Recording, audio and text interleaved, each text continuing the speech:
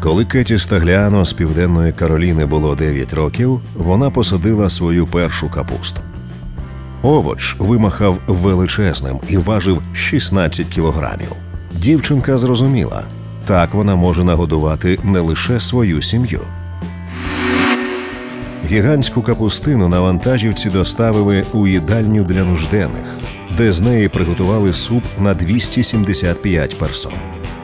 А дівчина створила некомерційну організацію Врожаї від Кеті, яка існує коштом пожертв і грантів. Сім'я та волонтери допомагають їй ростити врожаї у шести садах. А всього таких садів понад 100 у 32 штатах. Дівчина мріє про те, щоб її приклад надихнув інших на боротьбу з голодом. І такі сади з'явилися у всіх країнах.